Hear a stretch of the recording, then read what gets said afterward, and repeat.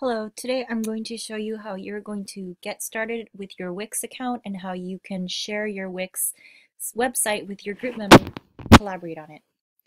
First, one person in your group needs to create a Wix account. You do that by going to wix.com. You should get a page that looks like this, and then you're going to click on the button that says Start Now. It'll bring you to this page, and it'll say New to Wix, sign up. You'll click on that, and then you're going to click on Continue with Google. This makes signing up really easy. You're going to go ahead and uh, click on an account or you're going to log in with your Google account and enter and then it's going to ask you for permission. You're going to click on allow and that is going to sign you up. Uh, when you get here, you're going to click on uh, business although it's not a real business that we're making, we're we want to have templates that are close to an online business. So click on that.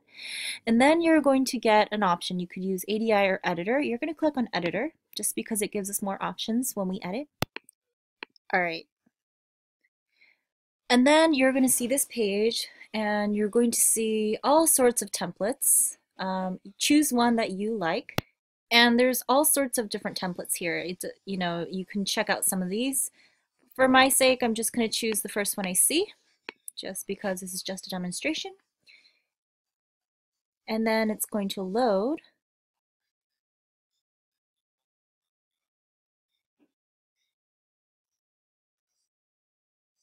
All right. And once it loads, uh, it, Wix is going to play an introduction video here watch this. I'm not going to play it for you here just because you're going to watch it when you actually log in.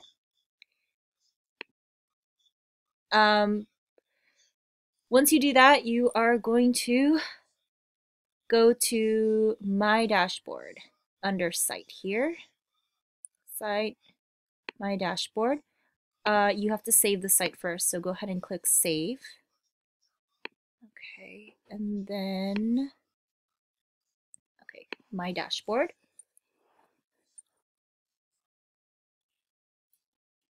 Okay, when you come here, you're going to scroll all the way down, or no, not all the way down. Click on where it says Manage Site here. And then you're going to scroll to the left where it says Roles and Permissions. Click on that. And you're going to see the contributors on your site. So I have one contributor here. You see this button, it says Add Contributor. You're going to click on that and you're going to add the emails of the people that are in your group so that everyone has access to the website. And make sure that um, they are all administrators so that they can edit the site and also publish it.